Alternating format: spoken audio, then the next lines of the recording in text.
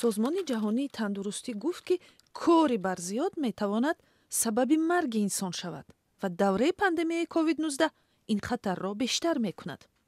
Кор дар компютер соатҳои тӯлонии кори беҳаракат дар курсӣ як саҳнаи ошно барои бисёриҳо шудааст.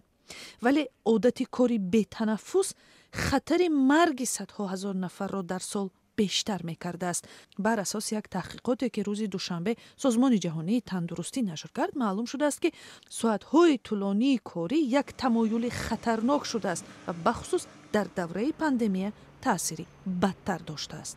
Чунин таҳқиқот дар сатҳи ҷаҳонӣ аввалин бор барпо шуд ва маълум гардидааст ки бо сабаби соатҳои тӯлонии корӣ 745 ҳазор нафар аз сактаи мағзӣ ва бемориҳои дил ҷон доданд франк пега як корманди созмони ҷаҳонии тандурустӣ мегӯяд.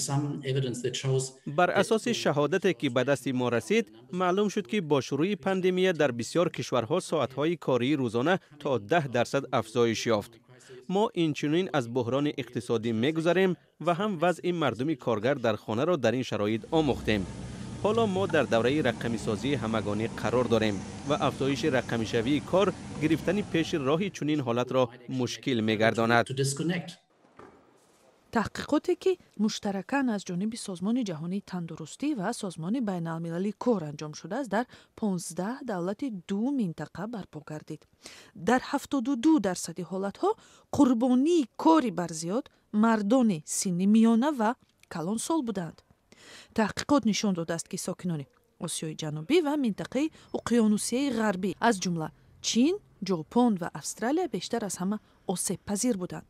Созмони ҷаҳонии тандурустӣ машварат додааст ки ба хотири ҳифзи сиҳатии коргарон бояд. Соати кори танзим ва риоя шавад ва маҳсулнокии кор афзоиш ёбад